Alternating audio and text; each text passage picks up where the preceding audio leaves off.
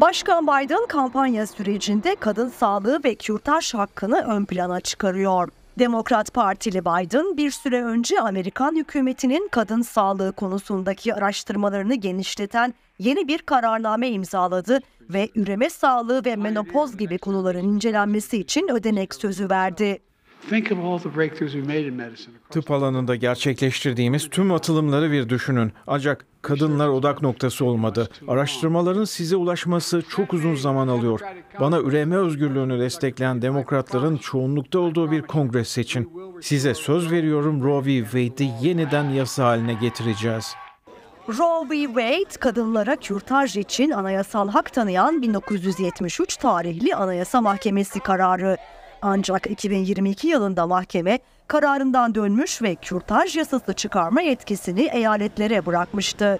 Cumhuriyetçilerin kontrolündeki yasama organları o zamandan bu yana eyaletlerin yarıya yakınında kürtajı kısıtlayan yasalar çıkardı. Biden'ın Cumhuriyetçi Partili rakibi olması beklenen eski başkan Donald Trump, oylarıyla Roe v. Wade kararının bozulmasına yardımcı olan muhafazakar yargıçları mahkemeye kendisi atamıştı. Trump, eyaletlerin yetki sahibi olmaya devam etmesi gerektiğini düşündüğünü söylüyor.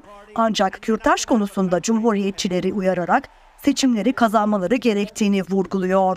Kamuoyu yoklamaları Amerikalıların çoğunun kürtajın tamamen yasaklanmasını desteklemediğini gösteriyor. Trump ise sadece bazı istisnaları desteklediğini söylüyor. Ronald Reagan Ronald Reagan ve ben aynı Ronald Reagan gibi tecavüz, ensest ve annenin hayatı için istisnalara inanıyoruz. Ben istisnalara inanıyorum. Trump bir radyo programında kürtajın hamileliğin hangi ilerleyen dönemlerinde yasal olması gerektiğine ilişkin sınırlamalara değindi. 15 hafta insanların üzerinde mutabık kaldığı bir rakam gibi görünüyor. Ancak bu açıklamayı uygun zamanda yapacağım. Aynı gün Trump, Florida ön seçimlerini takip eden medyayı bilgilendirdi. Do you think a 16-week abortion ban is smart? We'll be talking about that soon.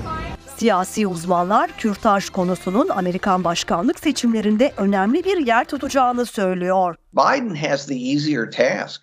Biden'ın işi daha kolay çünkü Roe v. Wade'in yeniden yürürlüğe girmesini destekliyor. Trump ise ne söylediğine dikkat etmek zorunda. Evangelik cemaatin tüm gruplarını memnun etmesi gerekiyor ki bunu yapması çok zor çünkü kürtaj karşıtı politikalar söz konusu olduğunda farklı derecede katı tutum sergileyen gruplardan oluşuyorlar. Uzmanlara göre kürtaj konusu seçmenlerin yarısından fazlasını oluşturan kadınlar için özellikle önemli.